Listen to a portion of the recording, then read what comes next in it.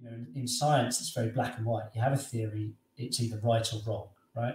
In trading, you know, I mean, you can be right. It's it's more probability uh, and kind of uh, you know run over 10 or 100 different times you do that you know you know trading you're never going to be right 100% of the time never ever i mean you know and and i think being right 50, percent of the time you can still make good money you know if it's about how you trade it when you when you get it right and how you trade it when you get it wrong and that's really a lot of i think the the lessons of actually experience i've garnered from career in trading is that it, you know you need to think about things over the medium term and the number of times you try a strategy out, uh, rather than just you know something. There's no there's no there's no one trick that's going to work every single time.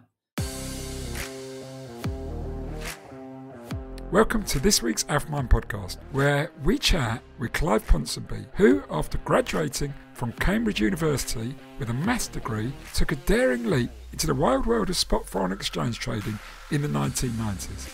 This was a time where the world of FX trading was dominated by streetwise and quick-witted traders, most of whom did not hail from academic backgrounds. Over the next couple of decades, Clive secured positions at top investment banks, starting at Bankers Trust and later moving to UBS and JP Morgan, where he served as an executive director of FX trading until 2018, running a large team of traders spread out across the global markets. In this interview, Clive shares valuable insights into the challenges of effectively using and applying analysis of all types in your work as a trader. Clive continues to trade for himself today and also provides exceptional research on trading and markets as a currency fellow at Hedder, a platform known for world class quality research which is available to professional retail traders as well as institutional traders. You can find out more about Hedder on the show notes for this week's episode. The AlphaMind podcast is sponsored by the Society of Technical Analysts, the STA. The STA are the world's leading body for the advancement of technical analysis and run fantastic education programs, diplomas, meetings, and conferences on themes connected to technical analysis and trading price action. You can find out more about them on their website, technicalanalysts.com. As our sponsoring partner, the STA are delighted to offer listeners of the AlphaMind podcast a discount on their outstanding STA Home Study course and STA Home Study course and diploma program. You can find out details about this by going to the AlphaMind blog, which you can find at alphamindblog.blogspot.com or just Googling AlphaMind blog and then go to the link STA Home Study course at the top of the page. Now, on with this week's podcast.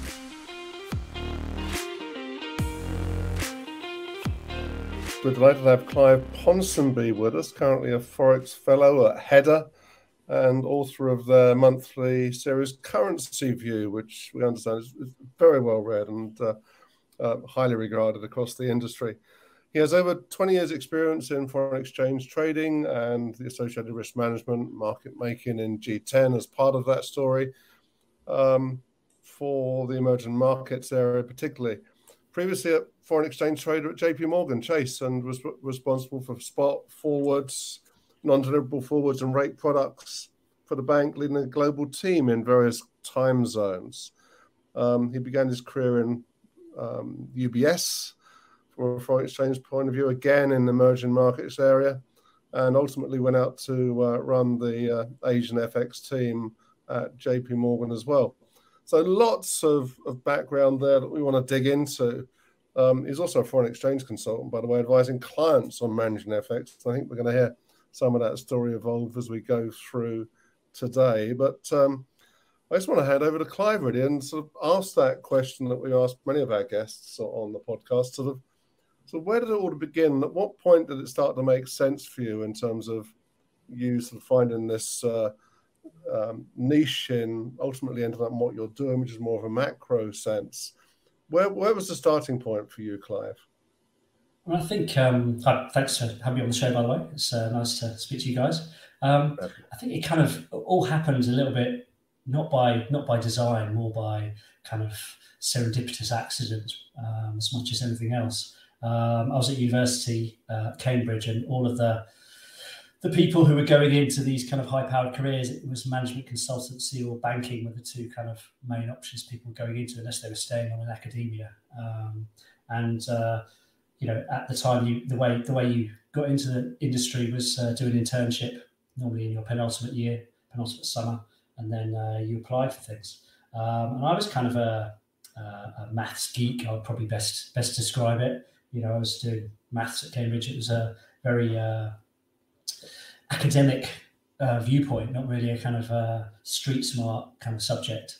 Um, and you know, so ending up on the FX spot desk, which is kind of almost the antithesis of this in kind of the 1990s trading environment in a bank, was um, a kind of happy accident in a way.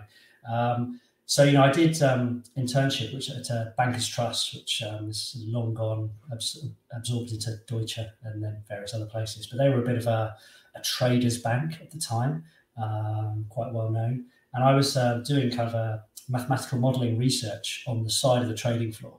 Um, and uh, you know, working with spreadsheets, writing macros, and this kind of stuff. And we're actually kind of coming up with a, a new, uh, a slightly more accurate options pricing model because, as you probably know, Black Scholes is very doesn't really describe the reality of markets. We were trying to improve on it basically, and um, in a way that could actually be you know, have a closed form solution and this kind of stuff. And they were fitting fitting the data to markets. But you know, being on the edge of the floor, we were able to kind of talk to some of the traders, and it was it was fabulous. You know, the noise and the buzz on the floor. You know, I remember, you know, uh, non-farm payrolls, the big big economic number of the month. You know, on Friday, first Friday of the month, and uh, I just remember, you know, hearing that, everything go quiet, and then you would hear out of one of the probably one of the broker boxes at the time, but it was some of the speakers had been like the, someone was playing like the ride of the Valkyries in like the 30 seconds, kind of coming up to the number coming out. Because everyone would you know, just be waiting for this thing. And then it would just be, you know, carnage and just noise, a, a wall of noise, everyone's shouting to get attention and you know, mine, yours, you know, all this kind of stuff. And it was just, you know, I asked to spend a week, uh, my last week um, with one of the traders.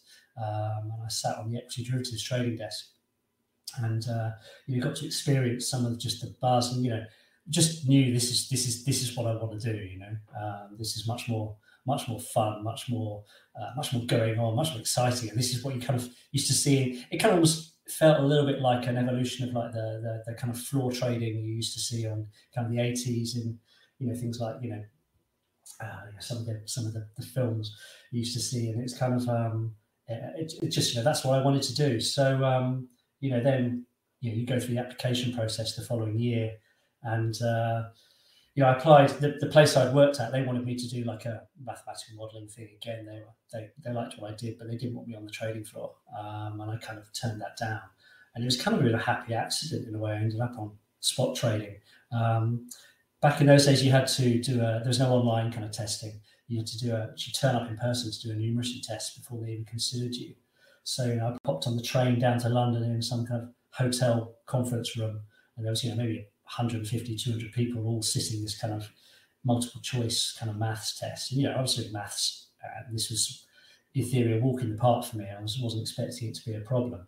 Um, I did maybe five or six of these things through various applications, and um, I, had done one uh, a few weeks before the one I did for, for UBS, and uh, and, and, the biggest problem I had with it was actually finishing it in time because they obviously put quite a lot of questions, actually not expecting people to finish them to, to really uh, differentiate the top end. Um, and I didn't finish it, but you know, I still got the letter through saying, "Oh, you passed the numeracy test. Come to interview in, in yeah, three weeks time or whatever."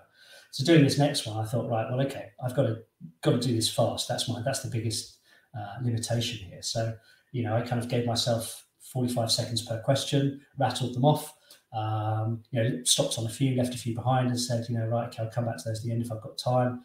Um, and then, you know, ended up, you know, able to go back, finish the ones, go through and check everything. Finished it, still had a few minutes left, and I was like, okay, I've aced this, you know. So um, go back to you know, back up on the train.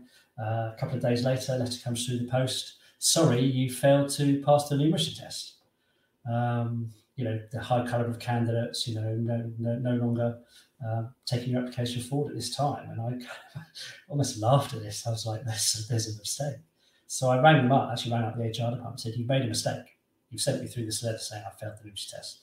I did fail that test. I, I passed it with flying colours. You know, you, you, go back and check. And they're like, No, no, no, sorry, you know, it's all computer marked, you know, it's all, you know, you didn't, didn't get enough votes. I, no, no, no, check again, check again. And they, um, what they'd done was the, the results were all truncated as, as, a percentile. and it was um, just truncated to two, des- two the last two figures. So uh, when I got hundred, it just appeared as zero zero on there on their things.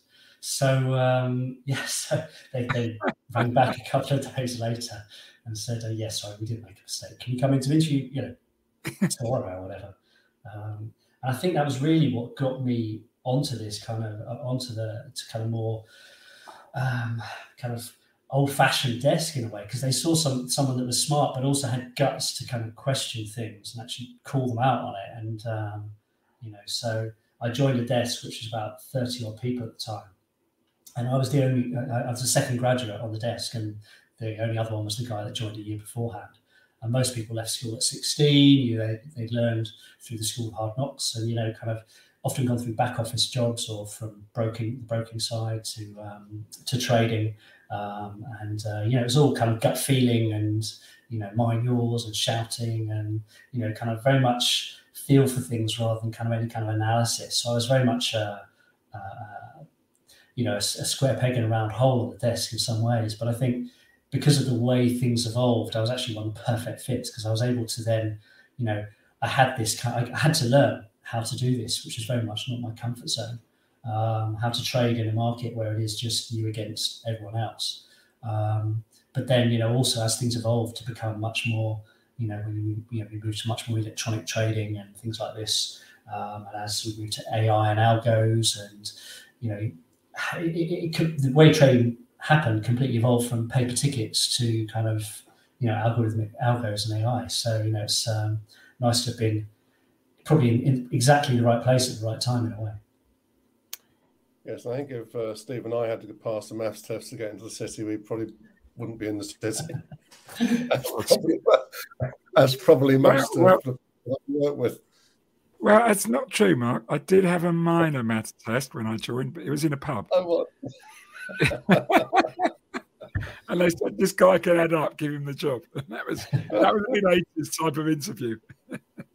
Uh, different, yeah. But uh, horses for courses, and of course we we need um, huge variety, don't we, in, in, in these ecosystems of trading to to co- to cover the various different lenses. I, think that's the that's the key thing. You need lots of different styles of trading. You know, that to make to make a desk work. You, you, if everyone trades the same way, it's just you know everything's going to be correlated. You know, you need ten different traders doing yeah. ten different things to make a balanced desk.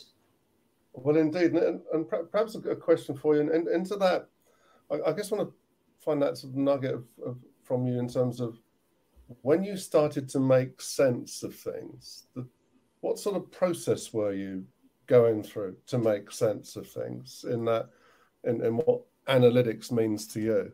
I think guess, because of course yeah, we've got an audience that a lot of are, are trying to maybe work some ideas out for themselves. So it's a process that I'm quite interested in for you to reveal here.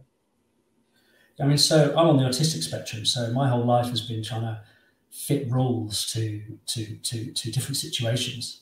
Um, uh, and you know, trying to work out what people are doing and how they how they do it was you know is, always been a bit of a challenge. But I've always therefore been you know, coming up with rules uh, of how things work, uh, writing down you know all the data I can you know to try to, to trying to recreate how other people do things. Um, and so you know when it came to you know financial markets, I thought this is ideally suited for this. You know, it, it, should be following some kind of rules. And when I found out that, you know, it wasn't quite as uh, uh, logical or following rules in terms of market moving, you know, there's a lot of a lot of random noise uh, within that, and that's actually where a lot of the value is as well.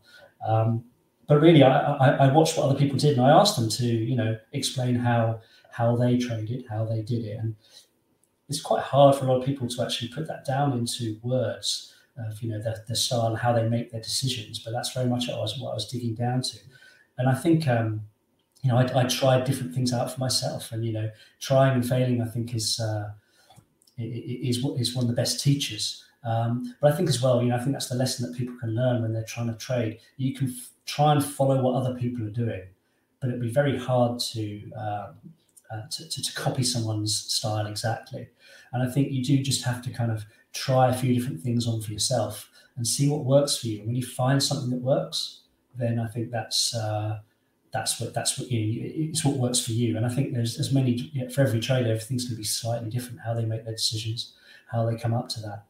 Um, and some people will be very much just gut feeling. They'll just be, you know, uh, get a feel just from price action. Um, it's a very powerful indicator, but it's really hard to describe to someone what, what price action is and how to kind of look at that and uh, take cues from that. Um, and I think you know a lot of uh, you know, a lot of people would then look at technical analysis to give them a kind of framework to analyze this. And in some ways, that's what I think see technical analysis as is kind of a way of describing kind of the human price action that's go that goes into a market uh, and come up with a set of rules uh, from that. You know, to kind of encapsulate when when something's you know getting to a level which is a bit sticky and won't will take a bit more to get through. So I think you know, and I think that's where you know, for my own trading now, um, I'm much more kind of multi-day, multi-month, or multi-week, multi-month type views rather than kind of intraday stuff. And I think uh, that's where you know I think yeah, it's one of the first places you should start. Is just look at look at a chart from uh, from what you're trying to trade, and just kind of you can see a few cues from that. It doesn't take much to do that. But really, just uh, my my, my general uh, stuff. I don't get too involved in it, but I'll look at, uh, I'll draw lots of straight lines on charts, you know, trend line supports, previous highs, previous lows, that kind of stuff as levels to watch out for. Um, and I think there's a lot of people uh, who I worked with who were very skeptical of technical analysis. You know, they would, um, but I think it's one of those things where it has a certain critical mass of people who who believe it that it actually then becomes a self fulfilling prophecy. You know, if enough people think that if level, you know, if the 80 level goes in this whatever product, it's going to gap higher, then, you know, a lot of people will leave their stops and trade accordingly if the 80 level does go. So, you know, almost, and the, the act of these people buying on that break will actually mean that it will do that. So even if you uh, don't understand technical analysis or don't see why it should work, I think it's something that you have to be looking at and taking some cues from. Um, and it's a very good way of picking a stop loss. You know, when you know the first thing any trader should be doing when you enter a position is knowing where your stop loss is. Um, and I think it's good to just to sometimes zoom out and uh, take a look where where, where you're wrong. Yeah, thank you, thank you, Clive, and, um, and again, w- welcome to the show on on my behalf, and thank you for that fantastic introduction. Um, I'm going to just follow up on a couple of points you, said there. Um, I love the idea of technical analysis as a framework, um, and there's lots of different, you know, philosophies of how to use an analysis, how to apply analysis, um, and, and, I think we all kind of have a, a, a natural draw to fundamental analysis because it kind of fits in with, I think, how we learn generally when we're young. That there's a story, an explanation, a theory, um, and and you know a rationale for that.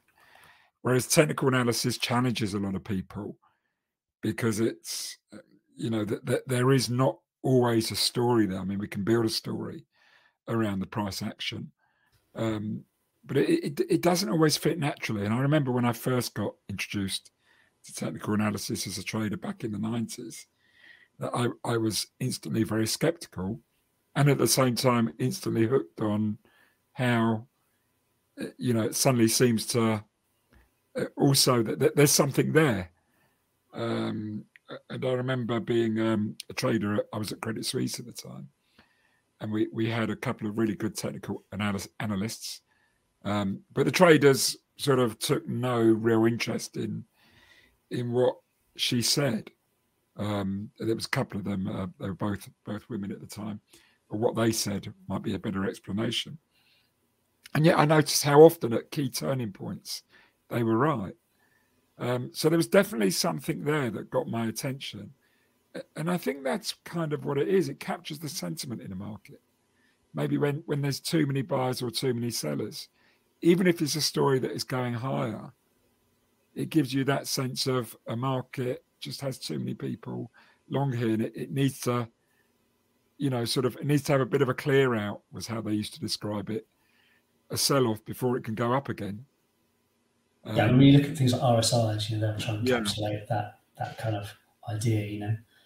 Yeah, but you can always see that in the price action. I mean, we we were always told look at the secondary indicator, and I I sometimes got overly hooked on the the secondary indicators. But actually, you can just see that in the price action as it kind of fades away and it, it stops making each high is a little bit a little bit less behind it, um, but it keeps rolling higher, and then eventually it breaks and it falls away. And you often see that that is what you see in the RSI or the MACD or the other momentum indicators. Yeah. But, I, think I think it's um it, it's interesting. We, we we often you know I think particularly nowadays in FX markets, uh, it used to be much more gradual the moves. You tend to get markets just kind of uh, gap from one level to the next level, and then they'll kind of stay in a zone for for for minutes or hours, and then they'll kind of gap again, you know, to the next one. There's, you know, I, I remember you know when I was trading earlier, you could get onto a move much more easily when you could see something kind of starting to move, a bit of momentum going. It's very easy to get on the back of that. Now it's much much harder. It kind of just seems to that that that that move just happens almost instantaneously and adjusts to the new you know to the new uh, or whatever the new level is going to be. Um, and I think you know in a way, you know, these indicators give you a, a, sense of kind of encapsulating the kind of because it gaps to a level, you suddenly find liquidity. If, if it's going up, it suddenly finds a wave of sellers, and that will absorb all of the buying demand that was there to take us to that point. And then unless there's new buying demand, it's going to run out of steam, and then it's probably likely to come off. You know. Yeah. Um, it's, it's interesting I, technical analysis, isn't it? I guess I guess just to sort of reflect back on. So I remember back in sort of '82 on you know the initial days of the live trading floor as a as a pit trader, um, as a non-mathematician, just to re-emphasize that point. Um, but this chap turned up from Chicago, and I just started. This guy was drawing pictures, and I was my art side of my mind. Said, "Well, that's interesting. There's somebody creating art of the movement and the pulse of the market. And I got really that that was very attractive to me to start to look at a market from a artistic or spatial awareness point of view. And we're still quite you know relatively young in my career, being actually have to actually to have a pretty sensible view about things um, and a sense of direction. Um, that, that, ended up becoming sort of quite a popular Reuters page as we, we, we turned to Reuters to put these things out. Um, but it was it was the, the fact that it was almost a release, you know, that the, the, the technical, heavy, numeric environment that you sat within, and sort of the sort of the charting or technical analysis was sort of a release to just observe things in a, I don't know, just, just a way that connected with me, and I could connect with it, and then share it in a language that people understood. So it became like a communication device and a sort of a credibility thing as well. And, and I'm really interested to hear how your mathematical mindset was also dealing with perhaps an artistic mindset of technicals as well. Did you see it as something that gave you another dimension that perhaps wasn't so clear in the mathematical world? I think it's interesting. I mean, just looking at a looking at a chart which is trying to a lot of the time, and some of these indicators that are trying to encapsulate the price action. I always felt that actually living the price action and you know hearing it and you know kind of the, the connection when you're trading every pip in the market gave you a better sense of that than a, than a chart could ever do. But what I found really interesting, you know, as as as the analysis seemed to evolve, you would get all these kind of, I mean, uh, I could throw in all sorts of examples, but you know, like DeMark indicators, and you get these kind of like Elliott waves, where where it kind of it becomes predictive. You know, it's predicting if it does this, you know, if it makes this kind of pattern, then this kind of pattern is going to, you know, follow from it. Um, and I find that I found that really uh, uh, interesting. Again, more from a um, not so much thinking about it artistically, thinking about it as being some way of almost like a model that's uh, a computer model that's kind of found out uh, what, you know, spitting out the right answer of what the next thing is going to be. Um, almost like I mean, before we had the, the, the, concept of AI, almost what I, you know, kind of AI would, would tell you what's going to happen next. You know, like predicting the weather. Um, and I think uh, th- these things really interested me, and I kind of, but a lot of them, it's very easy to fit to look back and fit a pattern to what's happened in the past. Uh, when you're actually in the moment, seeing seeing a, a pattern play out in real time, is much much harder and it's much less clear. It's really easy when they show you examples of these uh, these patterns playing out. And yes, if you know this at this point this predicted this and then it actually happened, and you know you can see it happen. But it really takes a real leap of faith to then actually trade on the back of that when it hasn't played out yet. Um, and I think, I mean, that was what really got me interested in, in, in kind of delving a bit deeper into this stuff, because I think, as I say, a lot of a lot of it, I felt that the, that the price action was was was understood better by living it than uh, than kind of looking at it on a on a chart. But I think actually when it becomes predictive and these predictions have some value, then it's uh, really powerful and it's something which you can't then ignore. You know, you can't just say, "Oh, I know, I know more than this." You know, um, I think maybe because of my maths background, I did have a have a have a feeling that there was some deeper meaning to these numbers that were flashing up on screens all the time. You know, um, there was some kind of meaning. You, you wanted to believe there was a meaning to it, so I was maybe more more able to be more a willing convert to this kind of stuff than maybe some other people. I guess Fibonacci probably would have helped you out there slightly. exactly. It's it's an interesting um, turn of phrase when when you say leap of faith. Um, how, as a mathematician, or how does that fit in with a mathematician's mindset? Well, I mean, a lot of maths in know, you know physics, example. You know, the way to test it, you come up with a theory, and then you make a prediction that hasn't happened yet, and you see if it happens when you when it when you put those conditions at play.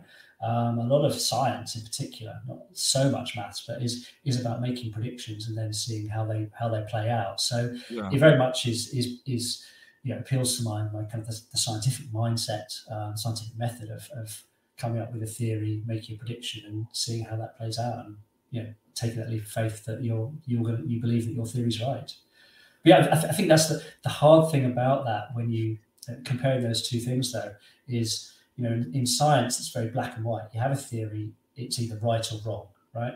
In trading, you know, I mean, you can be right. It's it's more probability uh, and kind of uh, you know run over 10 or 100 different times you do that you know you know trading you're never going to be right 100% of the time never ever i mean you know and and i think being right 50, percent of the time you can still make good money you know if it's about how you trade it when you when you get it right and how you trade it when you get it wrong um, and you know uh, uh, you know this could be a useful predictor but it's never going to be right 100% of the time um, and really you have to and that's where it is a leap of faith, I think, as much as anything else, because you have to have the faith that when it goes wrong, it's not doesn't mean you should immediately junk it because you know the best traders are only right. You know, you can be a good trader and be right fifty percent of the time. Uh, it's how you trade it when you're right and how you trade it when you're wrong that makes the difference. And the best trades I knew would be, you know, at best getting it right sixty percent of the time. So you know, it's it, every every uh, you know thing, even if it's perfect, is going to come up with wrong answers in, in trading uh, a lot of the time, and that's where you have to have persistence and think about it over the over a series of you know 10 or 100 trades rather than just one one trade. If it goes wrong ignore that one and move on. Um, and that's really a lot of i think the the lessons of actually experience i've garnered from a long career in trading is that it, you know you need to think about things over the medium term and the number of times you try a strategy out, uh, rather than just you know something. There's no there's no there's no one trick that's going to work every single time. That's hence our catchphrase. We we we say often next thousand trades. Yeah. next one trade. Um, but li- listen, this this has been great. Um, I got a question I want to ask you. Before I do, I have to come back to something you said at the very beginning, because uh, non-farm payroll day. I'm not sure there's anything quite in the world that prepares you for that when you're in a trading room or on a trading floor for your very first non-farm payroll day. It is quite a moment. and and you reminded me of that. And then you talked about the ride to the Valkyries. Now I, I don't know if you've triggered something in my memory, but I'm sure I remember hearing that playing over the uh, the speakers um, at some point on my on our spot desk in the distance. But I, I maybe I want to believe that's what happened. But it, it was just such an incredibly vibrant moment. Everything came down. Everything came down to that one point. The room went to a hush, and then the number came out, and then it just exploded in ways that you just you almost can't describe. And and you felt that hooked you. Was that what you said? That was it. Yeah, I mean, just it was the buzz and the noise and the adrenaline, you know, of, of, of that that kind of uh, environment was just it was it was it was uh, intoxicating. The yeah. best way to describe it. It was just um, ah, just a you know visceral nature of it as well. It was just, but it's, it's brutal as well. I think you know the other thing that really kind of attracted me to it was the fact that it was a real almost meritocracy. You know, as a trader, everyone can see exactly how you're doing on a daily basis, a weekly basis, a monthly basis. There's no hiding, you know. Um, you know, you might have a, a slightly better seat if you're a market maker, you know, to do things, but everyone can still see how you're doing relative to the guy that did it last year or the year before. You know, there's a, you know, there's a real sense of, you know, there's no hiding place, um, and therefore, you know, if you if you back yourself and you think you are good, you know, you've got good ideas, then then you can rise very very quickly. Um, it's funny, it's um, you know, the noise of a trading floor is very much one of those things that's, that's kind of gone away you know over the years. And uh, I remember, you know, when I when I when I kind of left uh, in 2018, you know, they one of the, the comments was it's going to be a lot quieter around here with you gone because I was still slightly old fashioned. When when something was going on, I'd be shouting out, you know. Um, I'd be shouting out, you know, this is happening, and you know, a lot of people would be like posting messages onto Bloomberg chats, which go out to all the salespeople, rather than actually standing up and shouting. But I was kind of like, you know, that was what I was brought up in. You know, people would shout when something interesting was going on. And it's it's funny. I remember um, uh, there was a day in uh, think it was early early 2014 or 2015. Yeah, t- early 2015 when the Euro Swiss floor went. Oh God! Euro Swiss. The SNB had been wasn't it? Sorry. January the 15th, if I'm exactly exactly. Yeah. Um, and uh, they've been holding holding Euro Swiss above 120 for for, for months. Um, and then they just let it go one morning. And uh, and it was one of those things where because uh, obviously everything was on, on, on the, the, G10 side was all electronic trading at that stage, and it, it dumped from 120. People thought if it goes, it would go down to like one 110, maybe you know, like a 10 percent move. That was kind of yeah. a, a, big move in those days. And the thing went down to the 70s. You know, it dropped like 40 percent in, in in minutes. Um, and the guys who were actually um, trading the, the the, the Swiss and and the euro, all the kind of the G10 trades. I was doing uh, Asian EM at the time. Um, they couldn't put bids and offers in because because it needed the big figure, and because the thing was like five big figures wide, the price was five big figures wide. Their, their systems wouldn't let them do it, and they, they weren't used to having to put big figures in. But I was trading EM, I had to put big figures in all the time. So when I actually saw it, you know, and I, I bought some. It's my um, one of my my, my, my, quickest quickest million in trading. Um, I you know having seen it kind of base in the high 70s and then go back up, I bought I bought 10 at 89, 89 the figure that is, because um, it was just trading in big figures. There was no no one was trading anything less than that. Um, and literally two minutes later, I sold five at 98, so almost 10% higher. Uh, and it was the five I sold was to the SNB, Swiss National Bank.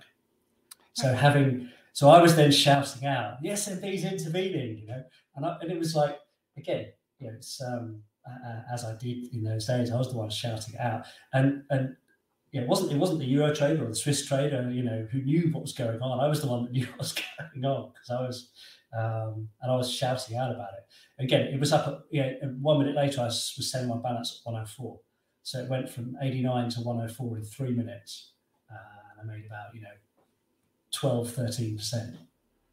We will return to this fascinating podcast shortly. If you are planning to upskill yourself as a trader or an analyst, or want to improve your chances of landing a job in the finance industry, the STA Home Study course may be what you are looking for. Developed by many of the leading minds in technical analysis and based on the STA's diploma program that was delivered at the London School of Economics, this course may be ideal for you. AlphaMind listeners can obtain a discount on the cost of this course. To find out more about this offer, Google AlphaMind blog or go to alphamindblog.blogspot.com and hit the STA study course tab at the top of the screen. Now back to the podcast. Wow. And, and, I'm so glad you've said this for personal reasons. Okay. And I'm going to put this out there now. And maybe you can back me up. Okay. I, I've just written a book. Okay. I've mentioned it a couple of times before on this podcast. Um, it's going to be out in January. It's called Mastering the Mental Game of Trading. Okay. And in it, I talk about that day. Now, I wasn't actually trading anymore on that day. Um, but I, you know, if you've ever been in the FX markets, you will know about that day. And I know some clients who traded through that day. And so I've got one of their stories, which I've shared in the book, um, which was actually a, a good story. But um, I recall that the prices traded much lower than they were actually ever registered and are registered anywhere on any chart system. And I think you've just verified that for me. Oh yeah, I mean it, it was. I can remember. I remember, yeah, there's certain days that etched, etched onto your memory as a trader. Uh, yeah. And, and um, it, it, was it traded a few times in the 78, 77, 78. It did actually print on EBS, which was the, the main electronic um, uh, venue for, for Swiss trading at 0.0001. Wow uh, which was cancelled. Obviously, you know that we, yeah. we, we, we, would check, but it, it, traded it traded several times below eighty. Uh, yeah. but not but you know maybe five, five, six, seven times. You know, uh, but there were plenty of trades in the low eighties, eighty to eighty three, and it was when it kind of turned back up. That's when I, you know, it's kind of I think I think when I bought the ten eighty nine, it was 84, 89. I just went mine, you know. So I'm so I'm so pleased you said this because I mean the system I'm looking at now at this point has the low at 0.85. And I, I, wrote in a book that, you know, the, the, low is much lower than it is on any systems. Um, and why that's important is that anyone who now decides to build a system that looks back at the price action of Euroswiss, they're going to base it off that 85 low. Yeah, and, I, I, can tell you it was lower than that. Yeah. Yeah. So, I mean, this, this becomes a problem. Yeah, of course. For anyone who does system, and this is a problem for any well it, you know for anyone who uses past data for a training system and you know obviously that's another form of analysis it is you know looking back at old data and then building future future trading systems based on them. Often the, the data for illiquid illiquid per, periods is rarely up to date on the system. And and we're talking about euro swiss as possibly the most liquid or one of the most liquid currency pairs ever through history. Yeah, and I mean, I, I, having traded EM, getting accurate highs and lows was a was a really important thing because clients wouldn't yeah. know what, what what's that. And again, there was a it wasn't an exact science, and and then there used to be you know there was all sorts of um, arcane things about when options had been you know agreed to be knocked out or not be knocked out, where a barrier, barrier triggered, and there's all sorts of things. I think it's funny because you know at that point you know, there was still one primary dealing location where where a good you know 80% of the trades went through.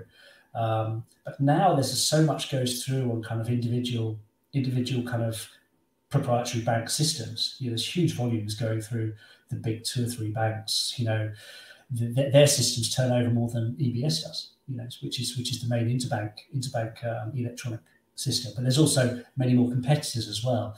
Um, and so, you know, it becomes much harder to say, well, what has traded, you know, now yeah. than it did, than it was even, even, you know, back in 2015. Yeah. No, no, that's brilliant. That's great. I guess add to that though that um, you know there is this other type of risk if you're building systems, in, in as much as that um, the the exchanges have the power to cancel trades below a certain level or above a certain level in these types of um, you know black, black swan type type events. Um, and sometimes there's a real delay in understanding that your trade has been uh, been deleted by by the exchange. Uh, and we've saw huge problems in the past where people, you know, try to take advantage of a, a you know, perhaps a four standard deviation move in the market where things have gone bananas, only to find that they put one trade on, sold it, pulled it back at a lower level, to find out that their uh, their, their purchase had been cancelled because it was beyond the threshold point, but the market had gone way above their sell point by the time they got advised by the exchange that the purchase was uh, was deleted. So so there are some. You know, I know that the, the charts tell you something, but they don't tell you everything of these stories, and that there are there are different types of casualties in these events. I mean, I, well, we've I, seen this very recently with the nickel market yeah. on the LME, right? They cancelled a whole day well, exactly, trades. Yeah. Uh, creates absolute chaos, and of course, you can't model for that. Um, but to know that sometimes it might happen, perhaps does allow does, does make you um, perhaps not get quite so cocky about modelling, you know, because you, have got to bear, bear in mind if there is suddenly a movement that is a four standard deviation movement, it might not be as good as it seems when it's on board as a as a as a piece of risk, um, because there's the other risk in the background that it may not be a position at all, because it may get cancelled. I mean, the worst trade I've ever seen ever in my entire career was actually a non-farm payroll trade by somebody that run about a 10 billion euro portfolio, decided to get a bit cocky and put, uh, I thought, oh, you know, payroll, it goes up, it goes down. Let's just put these things in. So 30 seconds pre payroll is giving me orders. So he put a buy stop above the market with a take profit half a point above that in US Treasuries. And um, about 10 ticks below the market, put a sell stop with a buy back that sell, I don't know, about a half a point below that.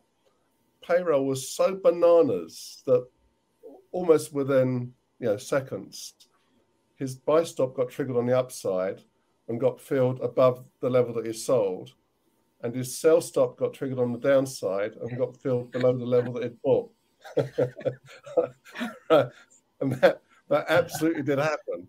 Um, and I had to tell him, I said, because the, the, the stops were in the system, as it were.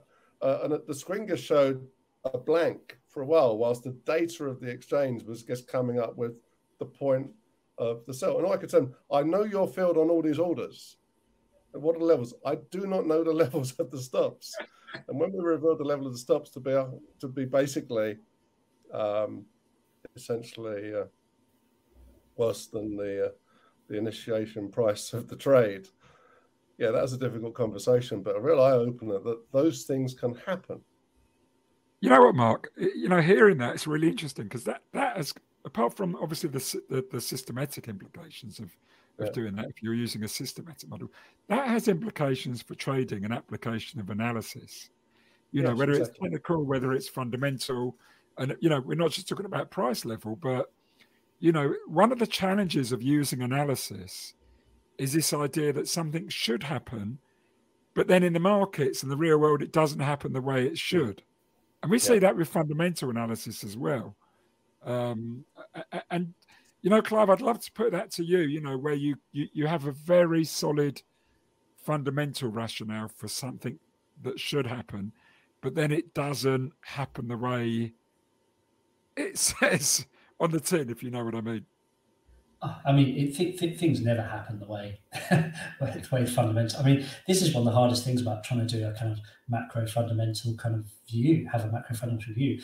You know, normally it, it never plays out the way you expect. Um, I mean, you know, a, a, a, trivial example which I think most people will be able to understand is, you know, if you get uh, a, a, num- a payroll number, because we talked about it, that's better than better than the previous one, but lower than what's expected you know, it's it's good data. It's better data than the previous set of data. But because it's not as good as what people have been expecting, the market goes the opposite direction.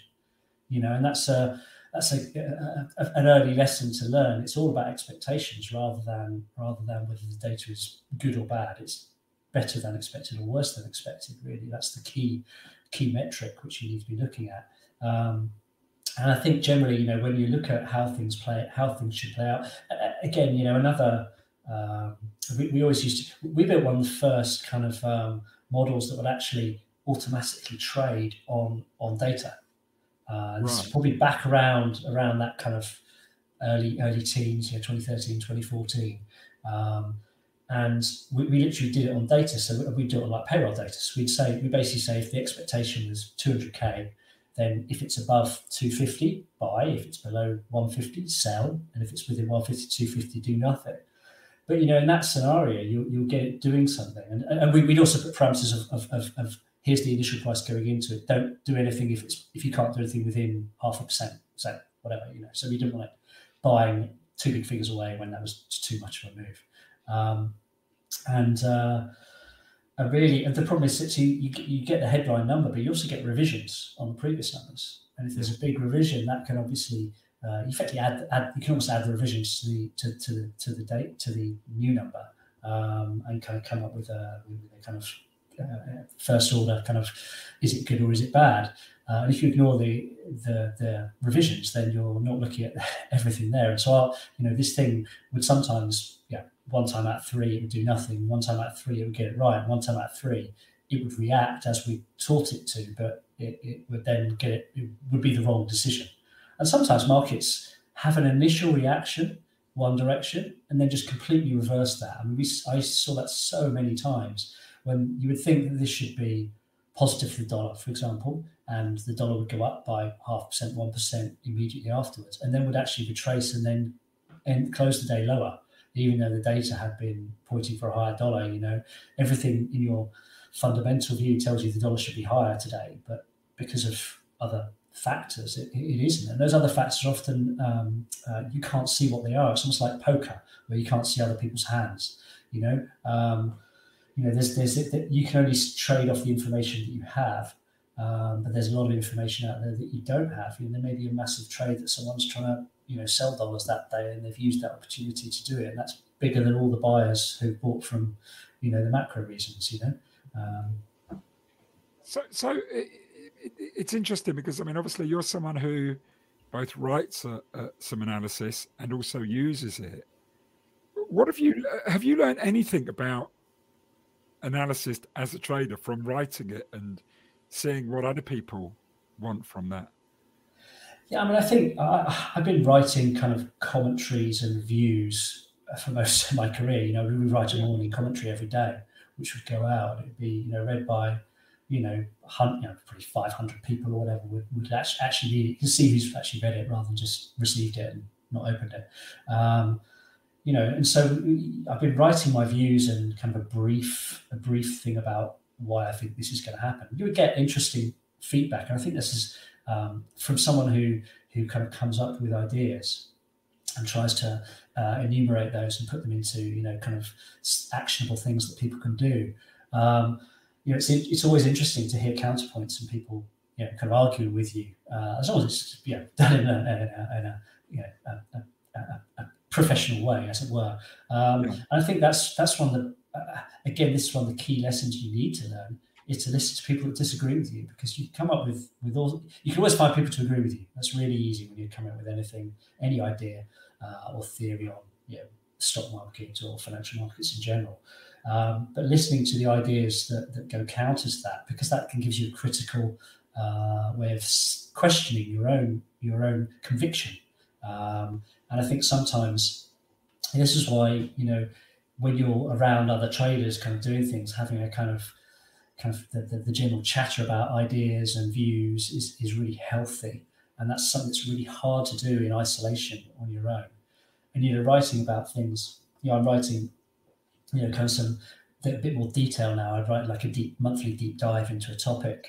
Um, and you know, so for example, I've, I've wrote about the new Bank of Japan governor and um, you know about what I thought that the implications were for the yen. Um, and this is something where you know we we kind of knew he was going to be the governor in February. He was appointed in March, but his first meeting wasn't until April uh, this year. So you know there was it's kind of playing out over months. So you know you can come up with a kind of theory, and my my my kind of basis was that it probably would be bad for the yen and good for dollar yen. So um, or euro yen. Uh, and that was my kind of idea on the back of it. But actually positioning for that and putting that trade on, you know, you don't you don't just read the article and say, okay, I'll go out and buy dollar there because you know, you know, you need to then then you go to kind of like, well, where do I put this trade on? What's the tactics around that? What's the strategy?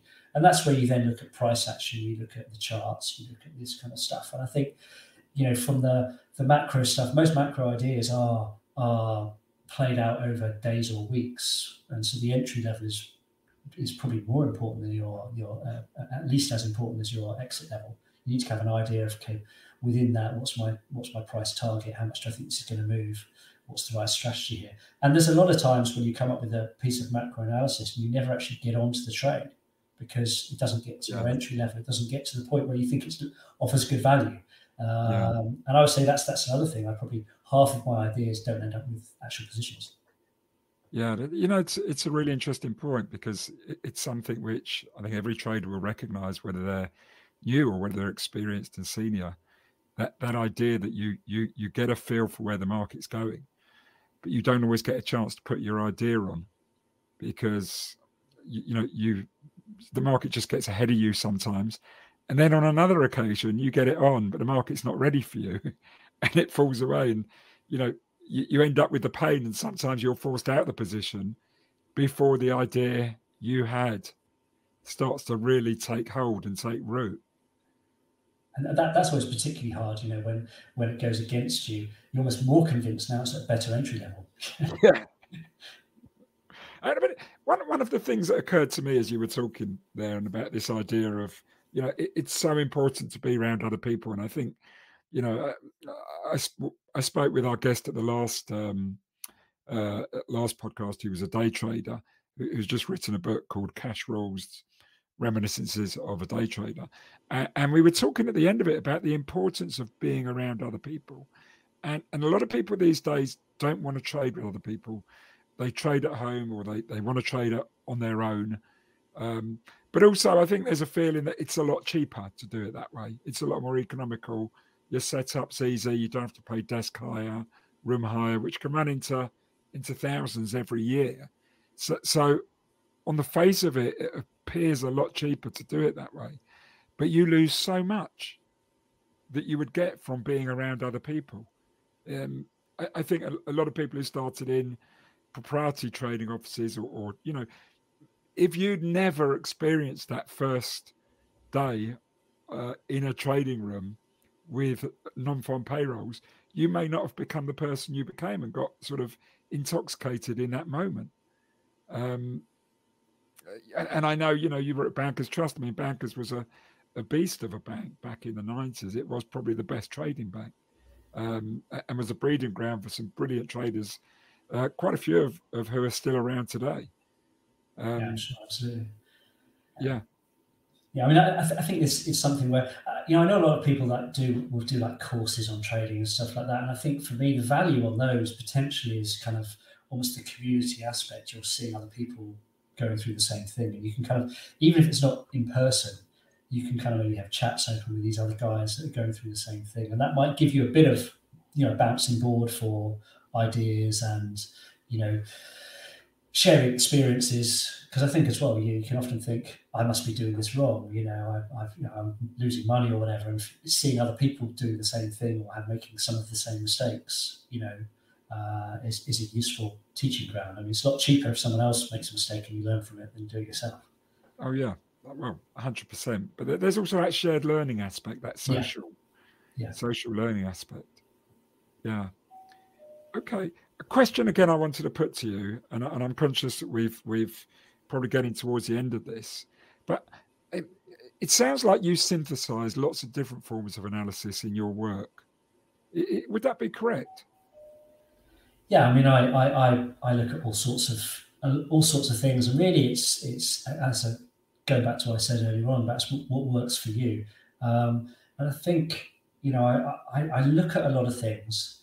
Um, as much to question an idea I have. You know, I'll often come up with the idea first, you know, and then uh, read a lot of con- you know, contrasting viewpoints to, to kind of uh, kind of uh, test that idea out to see if it's if it's rigorous enough and is worth uh, is worth doing, uh, worth following.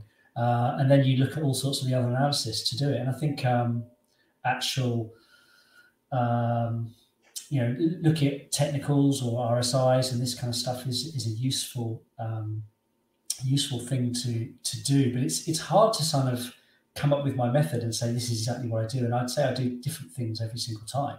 Um, yeah, I think that's the, the other thing, which is you know hard to then encapsulate. You know, because it's never the same. Sure, sure. I mean, it's it, it is interesting because that that comes back to the idea of um, you, you, said earlier on that it, it's so hard to teach this because everyone looks at it from from a different perspective, a different angle, um, their own experiences.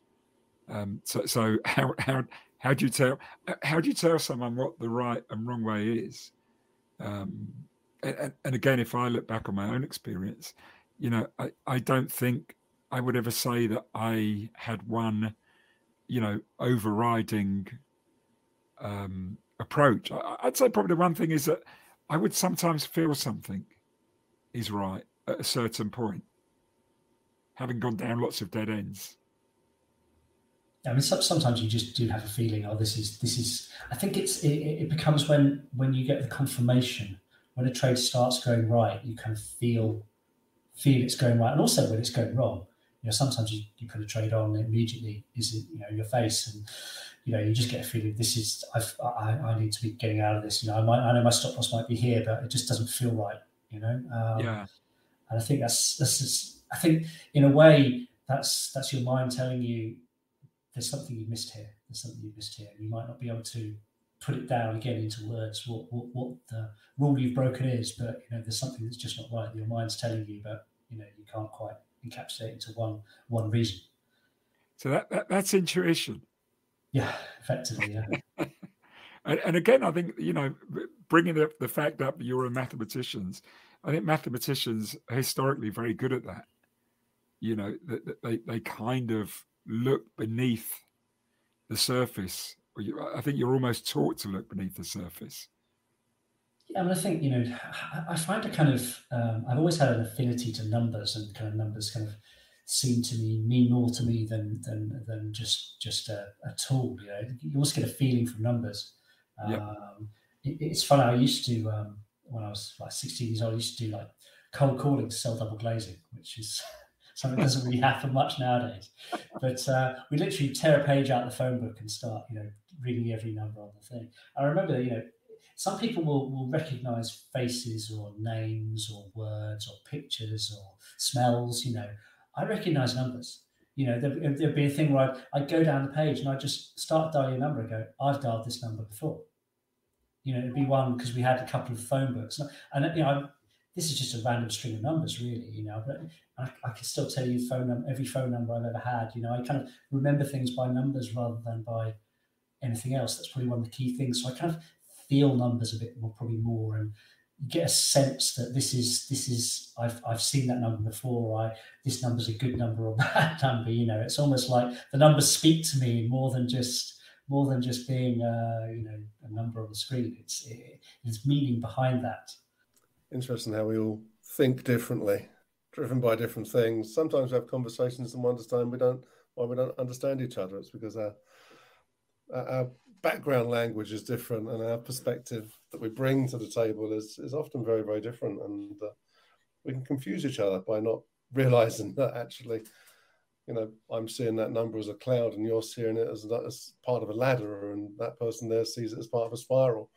Um, very, very interesting to bring these perspectives together. And of course, making sense of the market is always going to be a challenge and we almost must we must learn from the experience of it if we're can have any chance. And you know, we, have certainly not stopped learning ourselves. Wonderful. So, Stephen. Yeah, no, it's been great. Clive, could you tell us, obviously, how people can find out more about you and your work and um, Hedda? Yeah, so I'm I'm I'm basically writing a, a month or weekly weekly commentaries on on FX markets and what's interesting and what I'm what I'm looking at, and I'll do like a monthly uh, we call it deep dive where I really go really deep into a topic and analyze it. Um, I touched on, I, I, talked about the new Bank of Japan governor and the impact on yen. Um, I've been also doing things like going into gold and how central banks are using gold and you know the impact of de-dollarization on things like that. Uh, and uh, debt ceiling is uh, the latest thing which I'm talking about. You know the impact on not so much on the politics behind it, but on the impact on the dollar and how it's going to affect financial markets. You know this kind of uh, these kind of factors are giving people giving people trade ideas they can use. And they can find me at uh, currency.hedda.com. Um, and there's you know, there's various things you can uh, look at some of the articles I've written and uh, uh, have a free trial and stuff like that, and uh, read some of my stuff if you like it. You know, you can dig in, get get some more. But it's it's, it's good. I, I really like. There's a community behind it as well, where people are asking questions and we, we you know talk to people about that and there's a there's a dialogue between people it's not just me sitting in a room and uh, you know writing something and then just switching the computer off and ignoring everybody you know there's a dialogue behind that you know and again, I find it useful when people challenge my views. You know, it's uh, uh, it's a good thing to, to, to test your own theories. I'm I'm putting on trades myself. You know, um, yeah. I'm talking about the trades I've got on and uh, the levels and where I'm taking profit or putting my stocks and things like that. So maybe other people can follow that and or use it use it as a information. I think the way I like to describe it is I'm talking about like tidal forces in the markets. You know, the tide will rise and it'll bring things with it. You know, it's not something which you can immediately action on day one when you read the article, but it's something you should have in the back of your mind, and then it can shape your trading if you're involved in those markets. Um, it's something something which anyone that's trading those markets can can use and be aware of, and will find it useful. I hope. Thank you. That's I mean that's brilliant, and you know it's it, it's interesting because I you know I think we get a we've got a fair old mix amongst our audience. We've got a lot of uh, retail trade trader clients on there. We've got quite a few new clients, people new to trading, who are early in their learning journey. Then we've got some sort of more experienced institutional types, um, investment banks, hedge funds, and, and some some family offices we have on there as well, and asset managers. So we have a, a, a real eclectic mix. Um, and it, it, some, something's come up for me that I just wanted to perhaps just ask you before um, we leave this conversation because I'm, I'm mindful that if someone puts, I, I, don't know if you're on social media, but if someone puts an idea on social media, it often gets it gets beaten up in about the next 20 tweets, tweets from people who don't agree and they try and shut you down and they, they try and close you down because that doesn't suit their view or their worldview. And and you, you've said so much about the importance of actually being open to challenge um, and allowing a good form to view. And I think that's one of the things that's often missing from the discourse on social media. Um, how, how, do you have any thoughts about that? And, and, and have you ever experienced that at all? Um, I mean, it's I've definitely experienced being being challenged by a lot of people who disagree with my viewpoint, and you know you have to uh, uh, take that on board. Um, yeah. I think it's interesting. You, you bring up social media, and you get a lot of pile-ons, and and you know a lot of people with the same view, all kind of you know, kind of going saying the same thing. I think you know there's a lot of noise there. You need to um, kind of tune out to some extent because um, I think that the space where this is probably the worst is the crypto space because there's an yeah. awful lot of people who are very you know, almost um, uh, evangelical about it, and it becomes a, a, tribal thing. You know, you can't question the the, the the, the legitimacy of this, or you know, the view. You can't question the view, um, and I think that's where, as a as a trader, I have no particular uh, affinity for any one product or whatever, and you know. You know, when you're when you're buying you know, any trade I'm doing, you're buying something and selling something else. So it's always a relative viewpoint on something. I think that's something which um, you can even apply to stocks. You know, when you're buying stocks, you're selling your currency to do that. You know, and often when you have a kind of um, you know, when there's like an inflationary viewpoint or whatever, sometimes just buying stocks is an inflation hedge, you know, just purely on a, it's not dollars or pounds or, you know, euros or whatever it is your base currency is. Um, and you need to be thinking about that. It's not just, uh, it's not just that. I think that's what FX teaches you. It's always something relative to another. But, you know, in terms of um, social media can be quite toxic in that you do get a lot of noise. I think Twitter, particularly, because it's kind of a free for all, having some kind of curated comments uh, is slightly better. You know, different forms like Reddit and things like that. You know, you know people do ask me anything, things on Reddit, and it, it can be quite. I think it's slightly better than, than than Twitter, but you know, if everyone's saying the same thing, it may just be because someone's got all their friends to say, or people with like-minded views to kind of come and come and pile onto you. Um, so I don't think that's necessarily a healthy thing to take. Um, I think it's better to. What I was saying about reading people who have different views, about reading other people's ideas, and a Twitter comment is not necessarily someone coming up with a different idea. It's someone just yeah. having a go sometimes.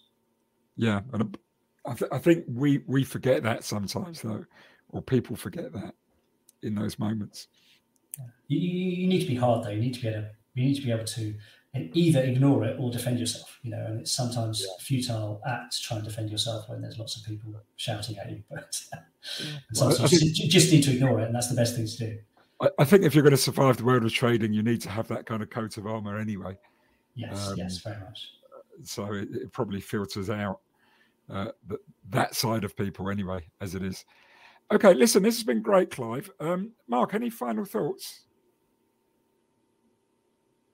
I think it's, uh, it's, it's a lesson, really, I guess, the translation of a personal passion in mathematics translating into something into that's viable as a platform to launch yourself into markets um, is, is, is, a, is a good message, I think. Uh, I know there was a big drive, certainly from government, to get people more involved in, in mathematics. And but when my youngest son needed some maths tuition, we, we knew a maths professor that we sent him to. I know, the stuff he was coming back with, even as a young kid, I'm thinking, we never taught this stuff at school, you know, about these patterns and these formulas and these shortcuts. Um, I imagine that there's there's great joy in being able to use something that seems such almost like a stiff type subject and to turn it into something that drives a career is is very very rewarding. So I think it's it's great to have shared that story, Clive, um, and to I suppose to encourage others that as well as learning about markets, you know, just learn about the more fundamental things of pricing, which actually stems from mathematics, because you might find some um, things there that uh, will help to drive your models and to drive your thinking behind how to, you know, try to make market, try, try to make money in this ever diff- difficult sphere called markets. So it's very interesting, Clive, and, and, and I think we're really grateful for you sharing that story with us. Thank you for listening today. We would like to thank our podcast sponsorship partners, Society of Technical Analysts, STA. You can find out more about our sponsors at our website, alpha-mind.net, or see the link in the episode description. The Society of Technical Analysts, the STA, provide well-beating technical analysis education programs. AlphaMind podcast listeners can obtain a discount off the cost of their excellent home study course. We hope you enjoyed this episode. If you did, we'd appreciate it if you could leave a friendly review or provide a rating for the show on whichever podcast service you use. You can find out more about us at our website, alpha-mind.net you can follow us on Twitter at AlphaMind101 and at AlphaMind102. And you can connect with me, Stephen Goldstein, and my co host, Mark Randall, on LinkedIn. You can also follow us and can check back over some of our past episodes on the AlphaMindPodcast.com. We wish you the best of luck in the markets. Have a good week.